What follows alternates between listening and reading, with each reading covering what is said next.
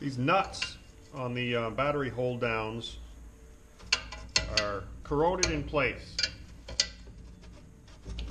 So, I wanted to show you how I break the rust free.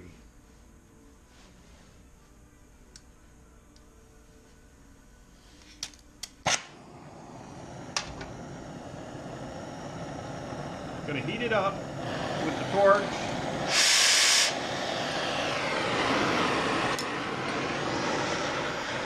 Until they're cherry red. With these small nuts doesn't take long. And then just douse it with some water.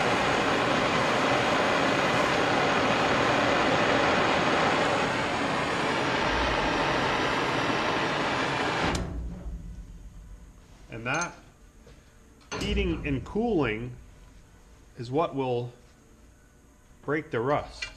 Look at that. Pretty cool, huh?